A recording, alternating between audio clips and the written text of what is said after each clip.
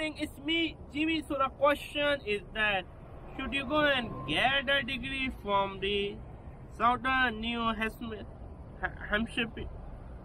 Excuse me, I have a tongue tie problem. I want to apologize in advance. Should you go and get a degree from the Southern New Hampshire University?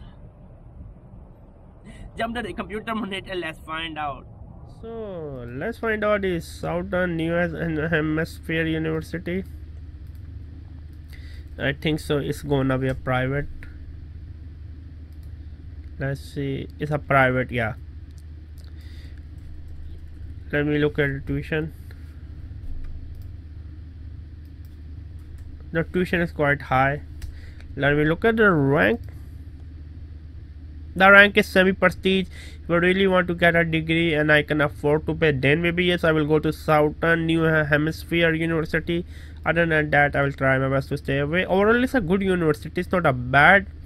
The rank is quite good. That's all I can say. Again do you really need a degree? The billion dollar question is that. Subscribe and bye